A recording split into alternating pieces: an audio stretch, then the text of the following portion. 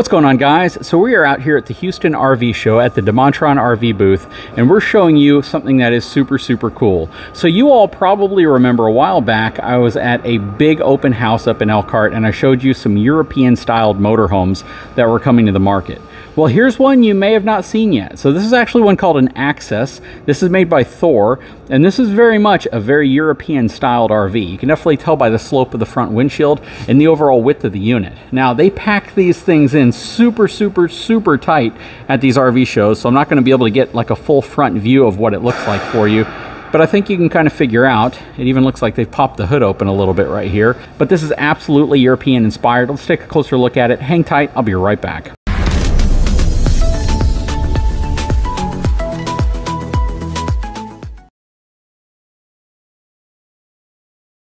So as I mentioned in previous videos, we might take a glimpse at the outside of the RV, but we're really going to focus on the interiors of these RVs. So let's go ahead and hop on inside so you can see what this is all about. And this is the Axis 24.1. They have this over at Demontrond RV.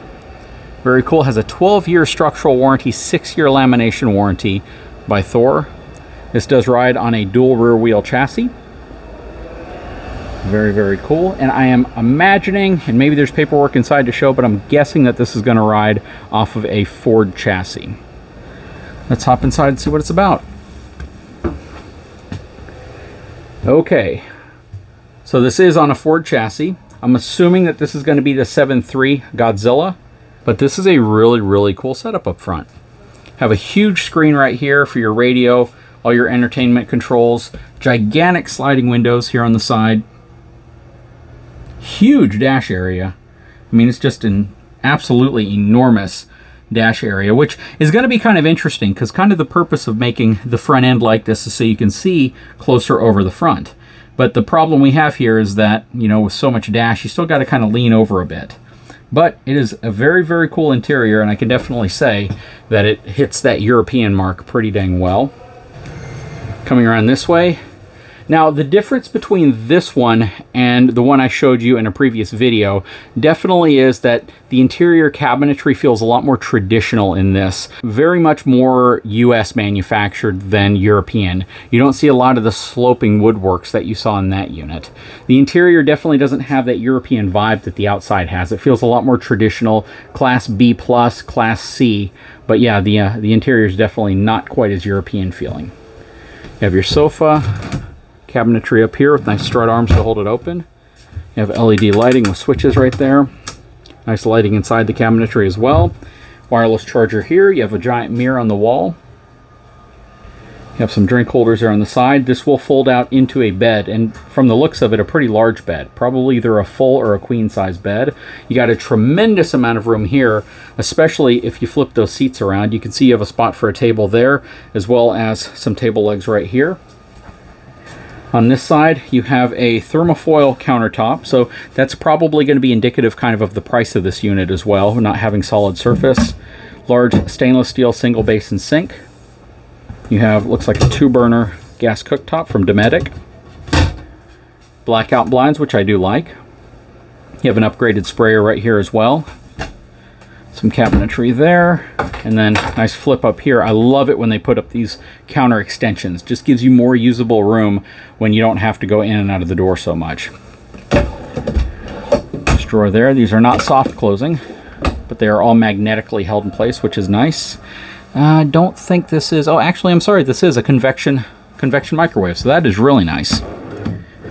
More storage down there. And that's largely in part because you don't have a normal stove or oven.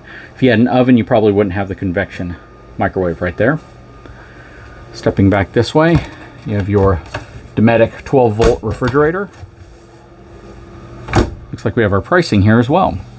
So, total amount of this unit is $174,353. This is built off of an E450 chassis.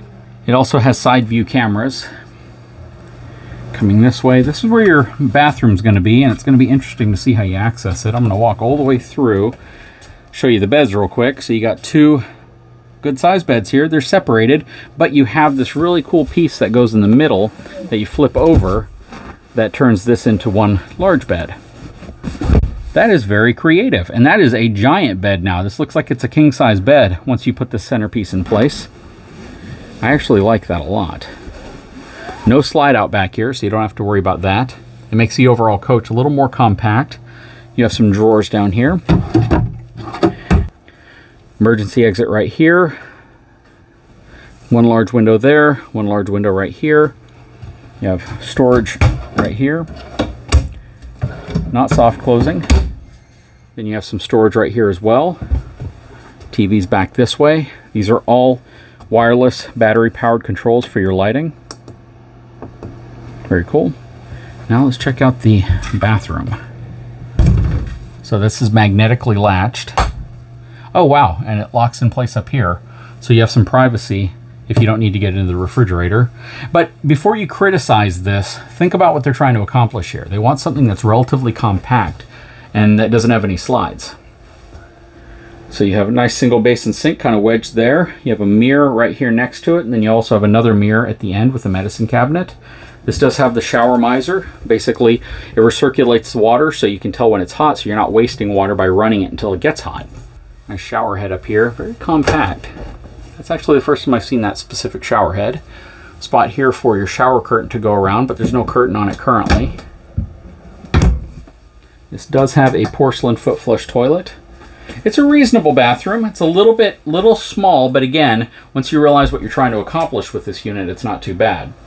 But take a look at this. When you open up the other door, it also opens up and kind of closes off the hallway area. But when it's completely open, you have a lot of room in here. It's actually a very good size bathroom area.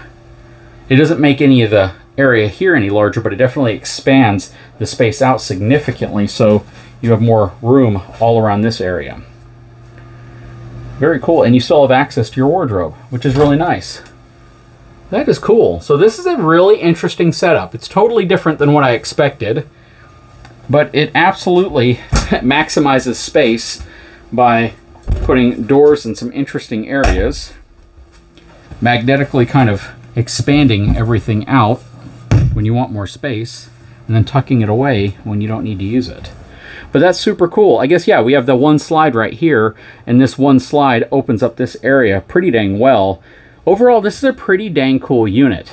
Now, before I take your eyes away from what's going on, I just spotted something kind of interesting here. Now, this right here is actually a bunk. So this lowers down. I did not expect to see this and it was it's hidden very well actually. The only thing that gave it away to me was the fact I could see a little plastic up there and I could see the hooks right here for your ladder. But this is going to lower down so you actually have extra sleeping accommodation up top here. And I was actually going to go into this bit of a rant about why you might want a C-class over this, but because of that capability there, this is just as effective and efficient space-wise as a C-class, and that is super, super cool. I don't know where the control for that is. I'm sure it's somewhere somewhere nearby. It usually is. But yeah, I can honestly say that uh, that definitely elevates this to a whole different level in terms of functionality by having a bed that can drop down. Anyways, guys, let me know what you think. This is super cool. I wish I could have lowered that to show you what it was all about, but it's okay. I think you guys can kind of envision what it's about. This thing just drops down and then you have some more sleeping accommodations up top. Now quickly from the outside, you can see we have cameras that are actually mounted to the sides of the mirror, which is really nice. You have really good tow mirrors. The mirrors extend out so you can see a lot of everything going down the side, but you also have the cameras to assist. You have all of your storage, all your propane, your batteries, everything will be underneath here. This is where your water heater, your furnace, and your water inlet are.